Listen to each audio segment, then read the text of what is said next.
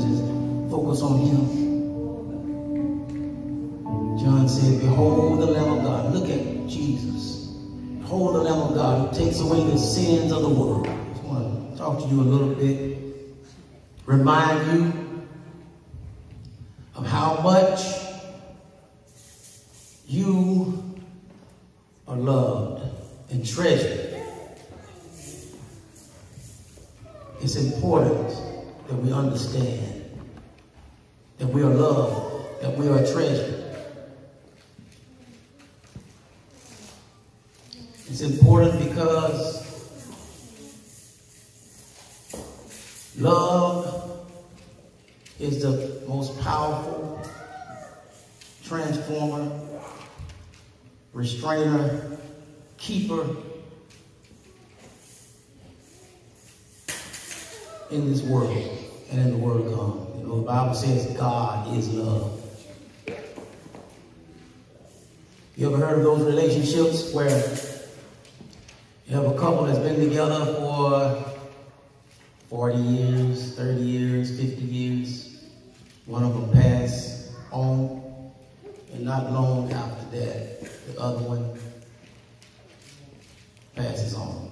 They say that they love, that love goes beyond the grave. I know they say in marriage that death do us part, but nothing, nothing stops love. Because after they're gone, you still love them. Their love has affected your life. It's in your heart.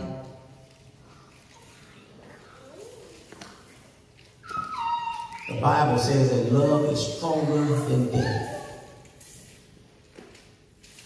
It's the only thing that I've read in the Bible that says it's stronger than death is love. As a matter of fact, that's what got Jesus up out the grave on the third day. It was the love of the Father. St. John, St. John 3 16, he told, tells us that for God so loved the world that he gave his only begotten Son. His Son gave his life. And that same love that gave the Son rose his Son on the third day our justification. but love is the most powerful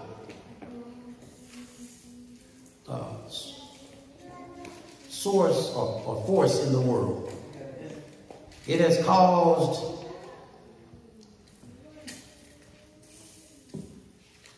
men, women to do some heroic things. Some of our most loved movies are those of the great love stories. We always want that theme running through our throughout the movie. You have that that man or that woman that will do anything for the person they love. There's something about that that's just uh, attractive to human beings. Because I believe it's because we come from the God of love. The Bible says He, God is love.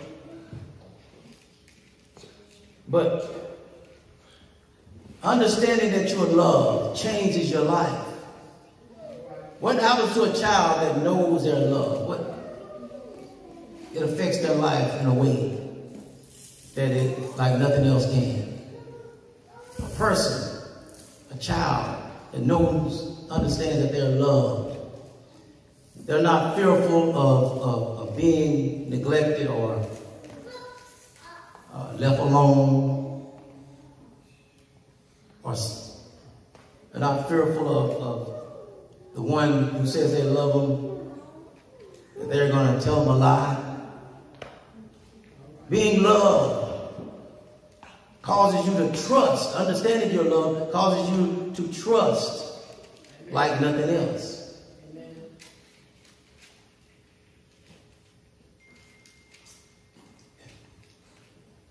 So,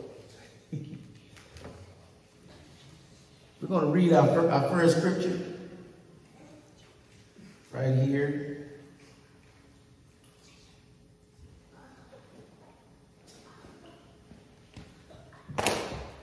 First John 4 18 through 19. It says, There is no fear in love. Y'all got it? 18 through 19. It says, There is no fear in love, but perfect love casteth out fear, because fear had torment. He that feareth is not made perfect in love. He loved us. We love him because he first loved us. We love him because he first loved us. So in order for us to truly love God, you must get this understanding that God loves you. That he loves you completely. That he loves us perfectly. Because he's a perfect God. And God expresses his love. Just like we do. Different ways.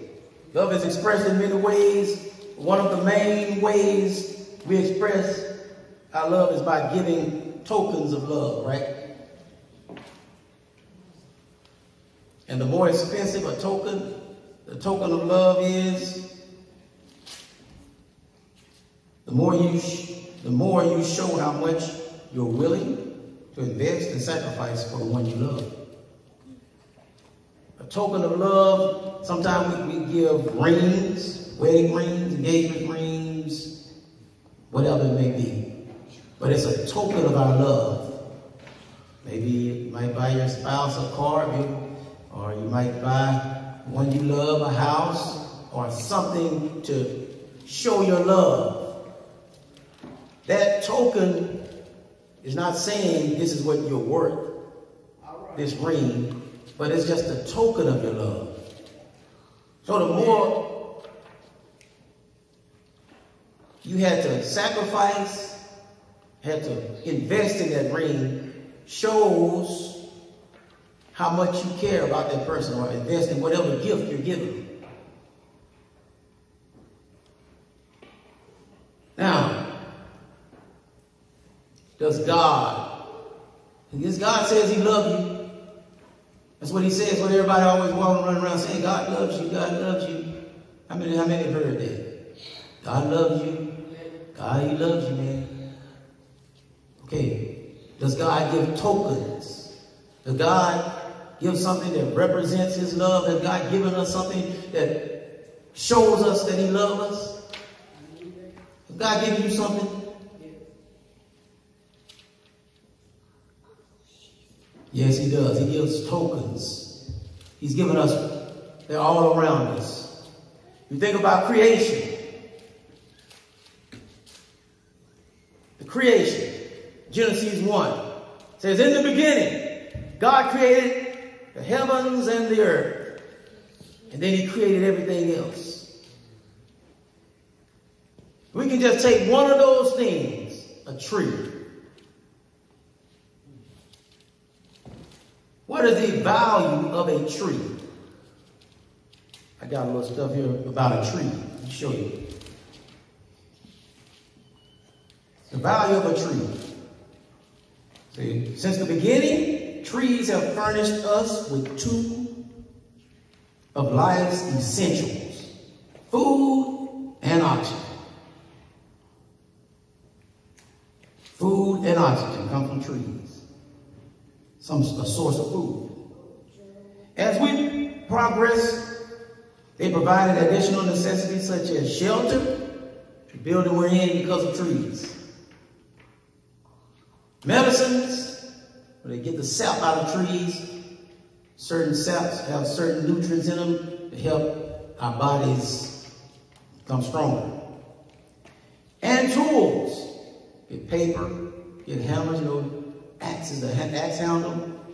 Anybody got, you know, any kind of wooden handle. Double barrel shot, you know, you got the shotgun, you got that handle on it, that come from a tree.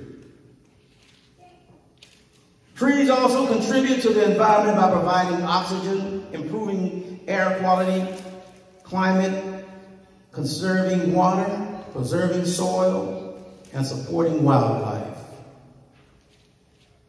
During the process of photosynthesis, trees take in carbon dioxide and produce the oxygen we breathe. According to the U.S. Department of Agriculture, one tree, one acre of forest, absorbs six tons of carbon dioxide and puts out four tons of oxygen. Who created, where did trees come from? According to Genesis, God created trees. Who did he create them for? Does God need trees? Does angels need trees? He made the trees for mankind. He gave a tree. The trees for us. That's, that's a token. That's one. That's just one of his creations. There are thousands all around me. Tokens of God's love for you. How valuable is a tree? Without trees, what would happen to us? Oh, it'll be a whole lot, it'll be a lot harder, right? A tree is one of the tokens, the importance, the value of a tree has, it has, it is uh, priceless. You look at the fish. God create fish for him? God eat fish? I don't think so. Jesus ate some fish though. But he created the fish for you as a token of his love. He created all of the vegetation, different kinds of vegetables.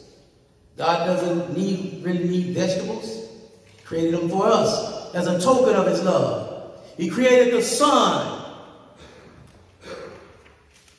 that rises in the east, sets in the west, gives us vitamin D and other nutrients that come from the sun, other benefits of the sunlight. God doesn't need sunlight. It's a token of his love to you. How valuable is the sun to you? You know what would happen to your eyesight if there was no light? You go blind. And when God first started the creation, the first thing he said was, let there be light. Why? He didn't need light. No, he was thinking about you. We need light.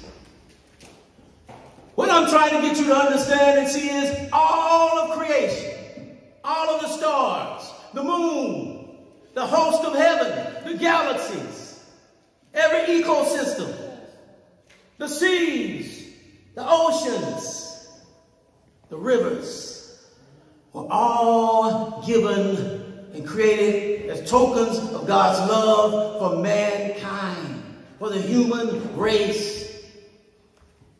God has given tokens of his love. The Bible says in Psalm 19 and 1, the heavens declare the glory of God, and the firmament showeth his handiwork. Day unto day uttereth speech, and night unto night showeth knowledge. There is no speech nor language where their voice is not heard. Whose voice? Whose voice is he talking about? Creation. Creation the sun, the moon, everywhere in the whole world. They can be seen. And the Bible says that they're declaring, they're saying something.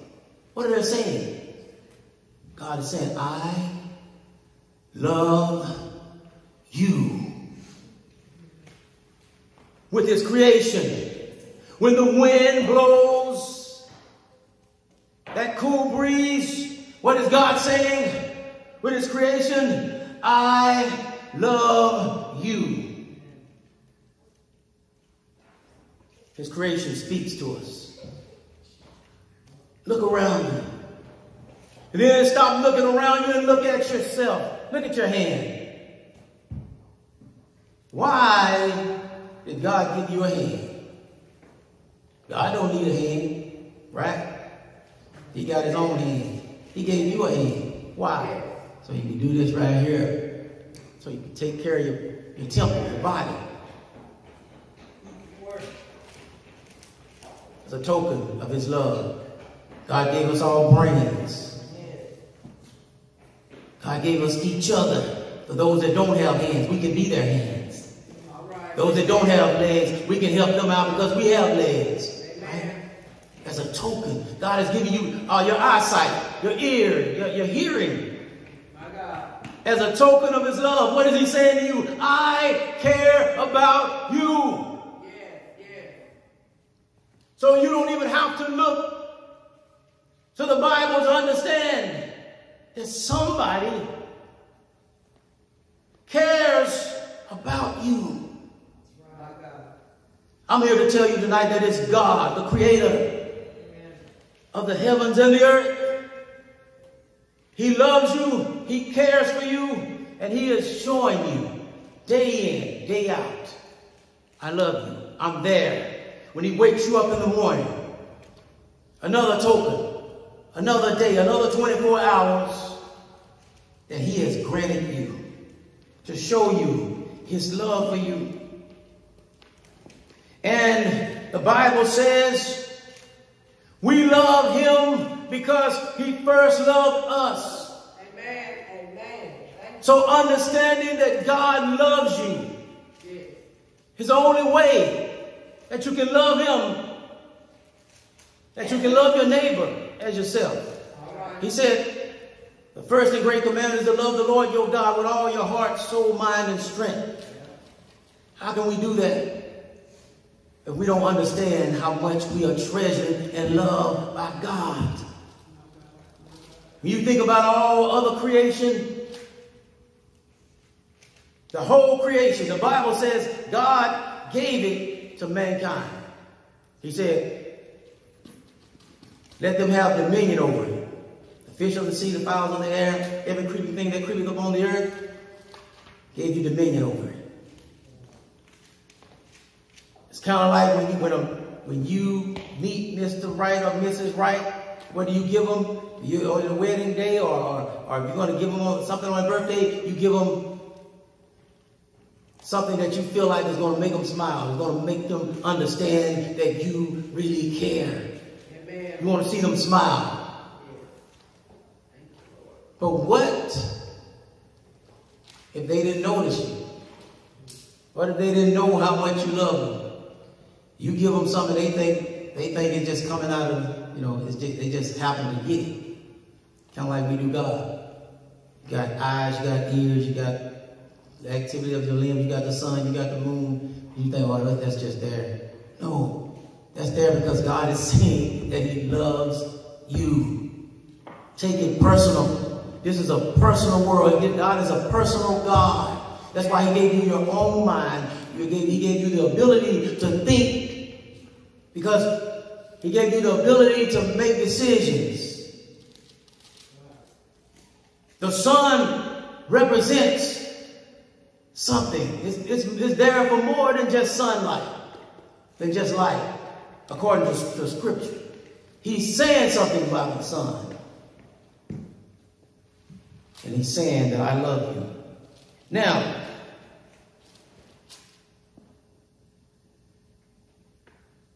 We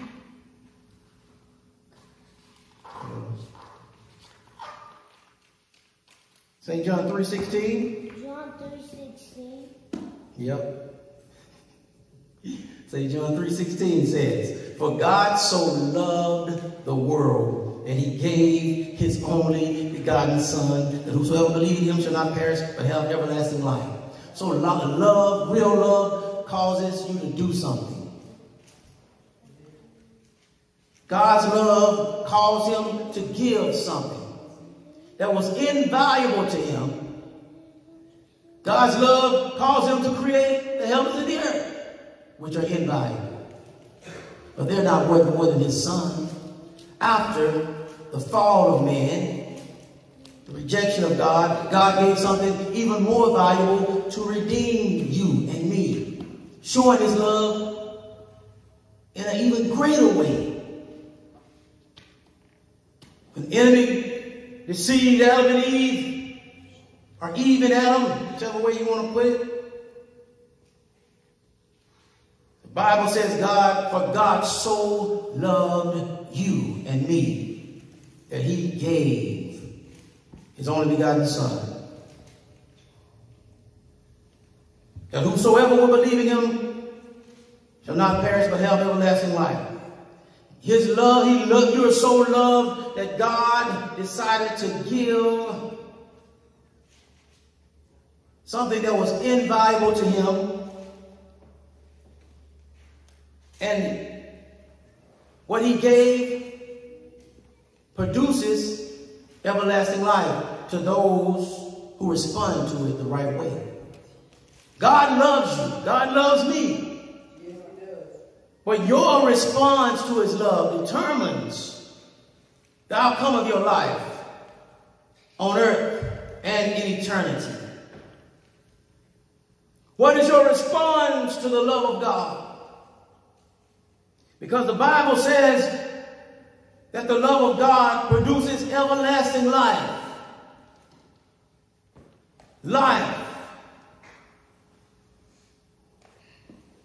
is what God love produces, not death, not fear, not depression. To understand your love by God causes fear and burdens to be lifted. The Bible says that the perfect love of God removes fear. And you won't have to live your life in fear. In fear of, of, of whatever may be causing you to, to fear. Whatever it may be. Fear loses control when we understand that God loves us and God is who he said he is, according to scripture. You see, God is not trying to make up his mind or figure out whether he loves you or not. He's not trying to make up his mind. He's not trying to figure it out. He loves you right now. Romans 5 and 6 says, For when we were yet without strength, in due time Christ died for the ungodly. For scarcely for a righteous man will one die, yet peradventure for a good, good man, some would even dare to die. But God demonstrated, commended his love toward us in that while we were yet sinners, Christ died for us. He's not trying to make up his mind. You're trying to make up your mind whether you're going to believe it or not. As Jesus said, according to your faith, be it unto you. Do you want to walk in victory? Do you want to walk in peace and joy? Except what God is saying. I love you. And you won't have to struggle anymore. You don't have to struggle to try to please me to love you because I love you while you were yet in your sins. And the Bible says he died for us while we were sinners. So what do you think he think about you now that you have accepted him? If you've accepted him as your Lord and Savior, don't struggle. He loves you. Don't beat yourself up. God loves you. Understanding that will help you when temptation comes. It will help constrain you. It will help Amen. keep you Yes, it will. from yielding to temptation, understanding that you're loved. And if you do fall, you know what the love of God does? It helps you to get back up. We're in a fight. We're in a battle. And in a battle, you're not defeated unless you stay down. Any competition, any boxing match or, or wrestling match, this kind of wrestling match, especially, because it's for your eternal destination.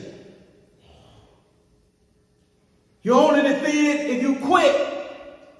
Don't allow the devil to condemn you because you make a mistake or because you sin. The Bible says we have an advocate with the Father. Jesus Christ the righteous. That if we would confess our sins, he is right, righteous and just. He's faithful, righteous and just to forgive us of our sins and to cleanse us from all unrighteousness. We have an advocate. We have a lawyer. We have a mediator between us and God. It's Jesus Christ, the righteous.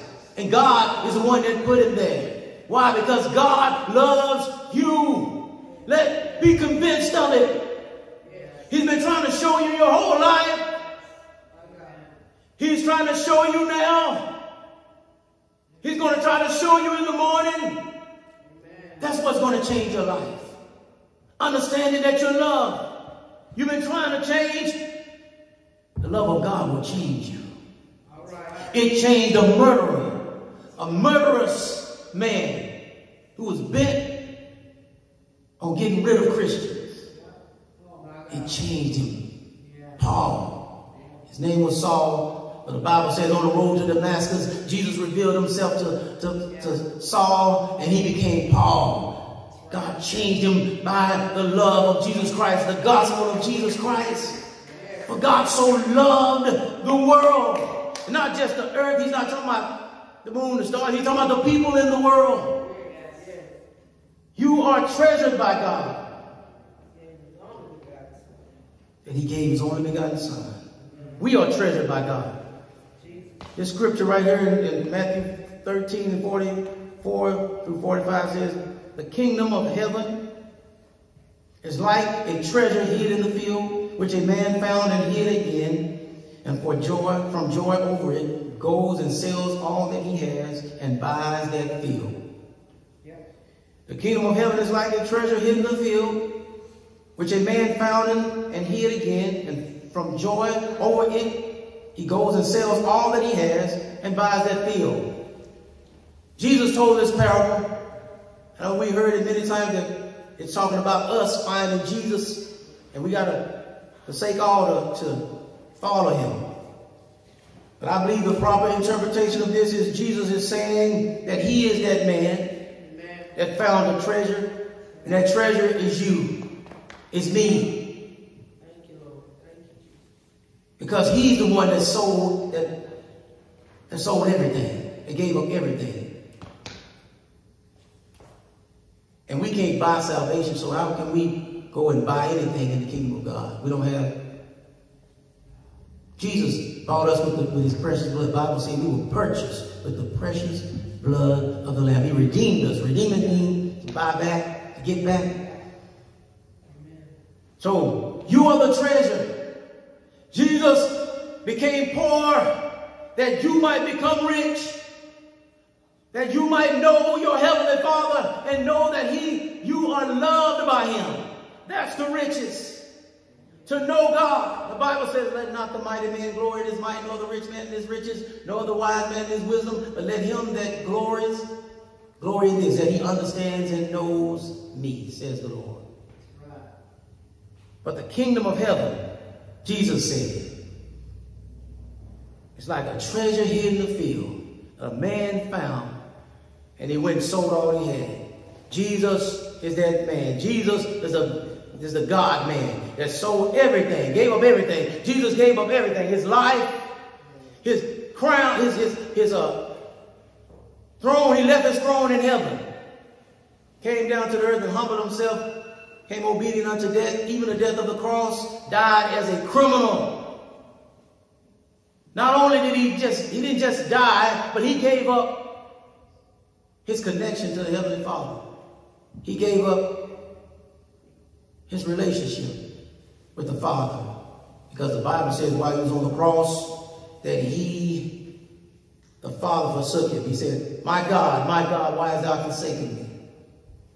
He forsook Jesus. God the Father forsook his son so that he wouldn't have to forsake you and me.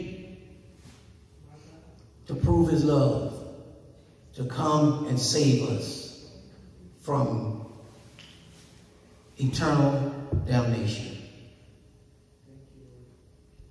from justice, because we justly don't deserve eternal life. You believe you deserve eternal life, eternal joy, eternal bliss? Probably none of us in there think that. So God came. God sent his son to give us our place back with him. To give us a right or a chance to become sons of God so that we can have that relationship that Adam lost once more. And he gave up everything so that he could claim you as his treasure.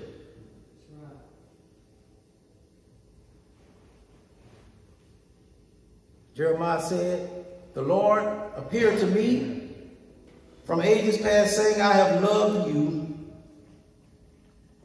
with an everlasting love. Therefore, with loving kindness have I drawn you and continue my faithfulness to you. God has an everlasting love for you. Which is why, once again, he says, For God so loved the world, he gave his only begotten Son, and whosoever believes in him shall not perish, but have everlasting life.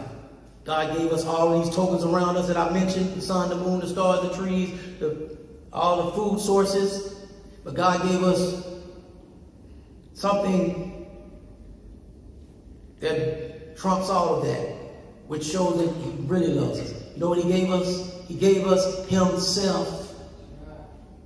So when you get through giving the tokens, the rings, the cards, you know what really makes that love rock solid is when you give yourself to the one you love. Your mind, your heart, your body. The Bible says, present your body a living sacrifice, holy and acceptable unto